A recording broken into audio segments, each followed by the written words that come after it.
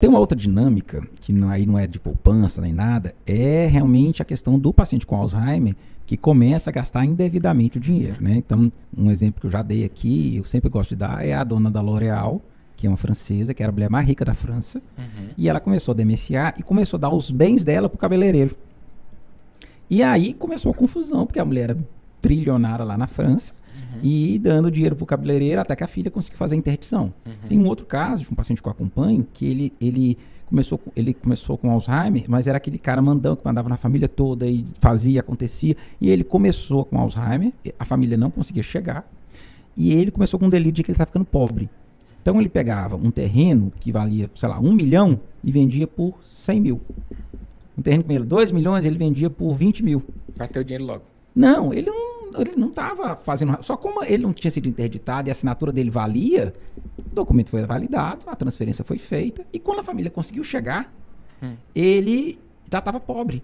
Então, todo o cuidado que esse senhor lúcido teve em acumular ao longo da vida foi desfeito em dois anos que a família não conseguia uhum. administrar a situação. Então, o, a questão da interdição, a questão de, de, de cuidar do dinheiro do idoso em vista do idoso, que acho que é, é isso. A, a, instituição curatela, a, a, interdição do idoso, é para preservar o dinheiro dele e ser usado para ele. Exatamente. E ao longo do tempo também, né?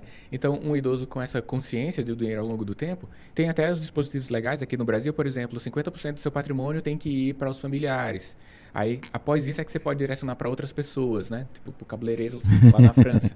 não pode dar todo o seu recurso para outra pessoa, não. E caso haja esse fato, né? Você pode reaver porque 50% tem que ir para os herdeiros. E o idoso ele pode começar a planejar, planejar a sucessão, né, que chama planejamento sucessório. Me explica aí o que é isso. Existem vários, vários dispositivos, enquanto ele tem um, um nível de crítico né, para a decisão, em que ele já pode fazer esse planejamento. Então, por exemplo, ele pode criar um testamento já fazendo esse direcionamento. Quando ele está lúcido, Quando né? Tá então, lúcido. vamos lá, galera, ó, vocês aí que estão me ouvindo, que são filhos, né, que já tem um familiar com Alzheimer, já sabe da dificuldade que é. Você hoje pode se organizar para não ter problema. Então você já pode fazer a sucessão é antecipadamente, antes de você ter problema, para que a gente possa preservar o seu dinheiro. Mas é um planejamento mesmo.